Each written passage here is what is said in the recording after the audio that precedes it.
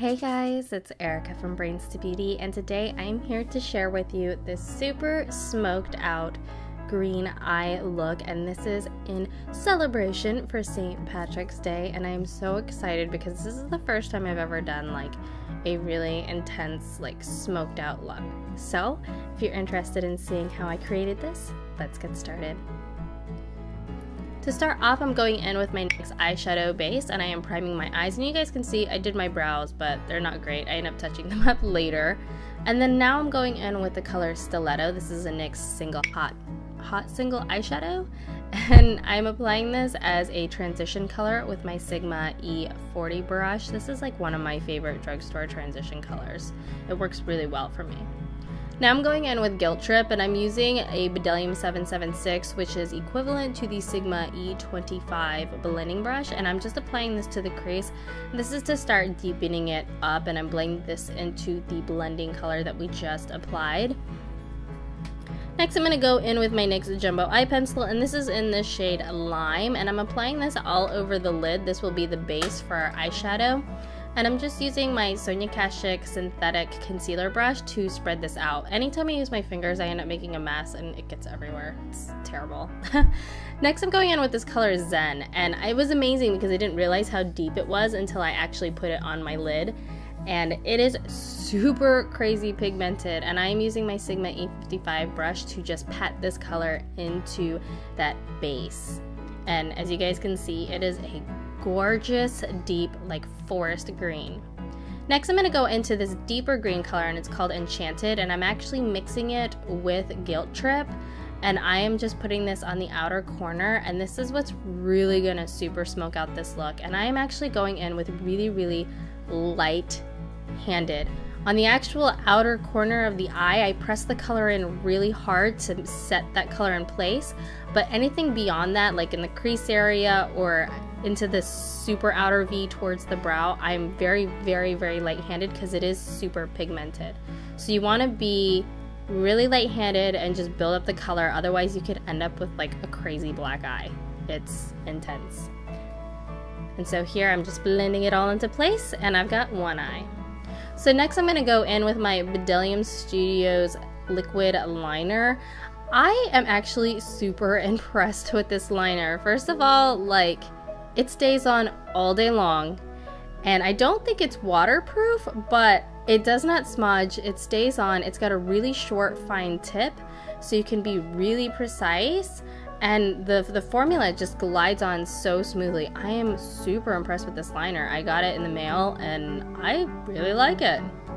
Next I'm going in with my Maybelline Fit Me Concealer and a concealer brush and I'm just going to clean up any of the shadow that I got under my liner that's just kind of everywhere and this is really just a cleanup phase. You can do makeup remover as well. I chose concealer today. It just depends on my mood.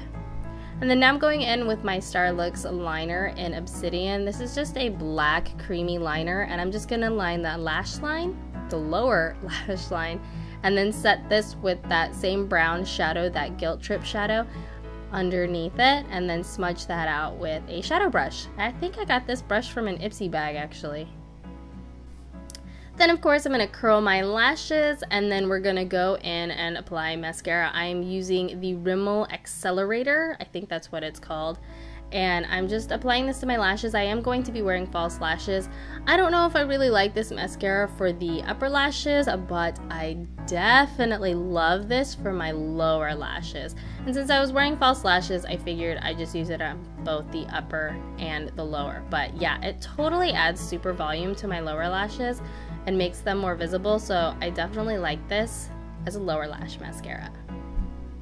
Now I'm going on to my face and I am using my currently new and favorite Maybelline Baby Skin Primer and I'm applying this to the areas where I crease. I still have a creasing problem with my under eyes. I'm still figuring that out. Sad face. Now I'm going in with my L'Oreal True Match. This is my all-time favorite foundation. Every time I think I found a new foundation, and then I go back to my L'Oreal True Match, I'm like, nope, L'Oreal True Match still hands down my favorite drugstore foundation. I haven't experimented with high ends, so I can't really say of any high ends that I really love. I, I was gonna get the Laura Mercier, but they didn't have it. and uh, the Estee Lauder when I went to Colorado. So we'll have to get that another day. But anyway, I cleaned up my brows first, and then now I'm applying the foundation all over the face. And the reason why I do the brows first is because I don't know about you, but whenever I try to apply foundation near my brows, I end up like erasing my brows and losing my brows. So if I can just do a foundation near that, like precision wise, I do so much better. And I'm applying all this with my Sigma F80 Kabuki brush. Awesome. Now I'm going in with my new favorite concealer. This is my Smashbox BB Cream in light medium. I got this eye cream in Sephora when I was in Colorado, and the lady suggested it to me, and holy crap, I love it. It is super lightweight, very, very creamy, but it has amazing, amazing coverage. And normally I would blend this in with my beauty blender, but I got lazy. I didn't want to get up in the middle of filming to go wet my beauty blender, so I just used my F80 and it actually worked out really well. Any other concealer, if I tried this, it would have ended up like streaking. But this concealer is so creamy that I can blend it out by stippling it with my F80 and it still looks flawless. This concealer is magical, like magical. I'll have to do a video on it one of these days because it's truly amazing. And then, of course, back to the regular routine my BH Cosmetics Pro Powder in 205 and my blush brush from e.l.f. setting all of that into place everywhere where I just applied the concealer. So under the eyes, down the bridge of the nose, lip, forehead, all that fun stuff. And then I set the rest of my face with my other BH Cosmetics Pro Powder in 230. You know the routine. Same diff, same thing. Ooh, and then next I'm going in with my Too Faced Chocolate Soleil. And oh my god, this is the first time I actually used it. And I realized, oh my god, my face smells like chocolate. I was so excited. I mean, everybody always says it smells like chocolate, but dude, like if you haven't smelled it, it smells better than chocolate. It smells like I need to eat chocolate and crave it for the rest of the day kind of chocolate. Like it's not just like you know, chocolate. It's like sweet chocolate, like the kind that you just want to like dunk your face in. And it's an amazing bronzer. Like I am in love with this bronzer. It does an amazing job for contouring and like overall bronzer, like you could take a big brush and put it all over and it gives you a nice tan. It's awesome. And then of course I have to go back in with some more NYX and I'm using the NYX NYX Blush, NYX Blush in Summer Peach. I went through a whole depotting phase and I went NYX crazy. So all the products in that palette is NYX, and that is a Z palette, by the way. And of course, I'm going in with NYX again, and this is with the highlighting powder. And oh my god, I love this highlighting powder.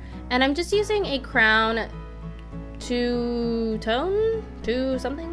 I don't remember. It's a blush brush from from Crown, and I am just blending that highlight above my cheeks, forehead, nose, on my chin. I do put it on my lip as well, but like I forgot to edit it in. I don't know what I was doing.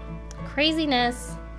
And then I'm going in with my NYX matte lip cream in the color Athens and I don't know what it is, but I have been super obsessed with the NYX lately. Like super obsessed. And I didn't even go to IMATS this year, so I didn't get like a super cool swag bag or anything like I did last year.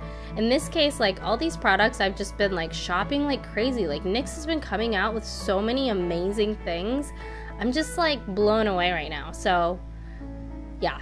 No, no sponsorship or anything. However, if NYX would like to send me stuff, I am down for free stuff. Next, I'm going in with some lashes. These are Ardell Demi lashes, Demi Wispies. Uh, what is it? These are the Ardell Lash Lites in 330, and I just applied some Kiss Lash Glue. I really like the Kiss Lash Glue. It helps you prevent getting too much glue, and it gets tacky real easily. And so, yay, that is it. I hope you guys enjoyed this tutorial. If you guys did, please make sure to thumbs it up and make sure to subscribe. I did film a look that could be a potential prom look or just a fun shimmery light going out look. So make sure to hit the subscribe button, comment down below, and of course, thumbs it up. Thank you guys so much for watching. This is Erica from Brains to Beauty. Hi guys, it's Erica from Brains to Beauty and today I'm here to review for you the new NYX Micro Brow Pencil. I actually got this in my last haul. If you guys haven't seen it, I will link it down below. It was my Colorado Beauty haul and I got this because I was trying to find an alternative for brows. I've been using my Brow Bar to Go forever and a day. I actually have a tutorial on how I use that. I will also